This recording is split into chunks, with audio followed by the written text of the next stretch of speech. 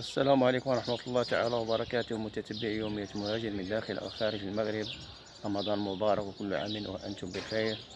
نتمنى الشفاء العاجل للمرضى والله يرحم الأموات ديالنا غادي ندير لكم واحد الجولة بعض الأحياء هنا في إسبانيا.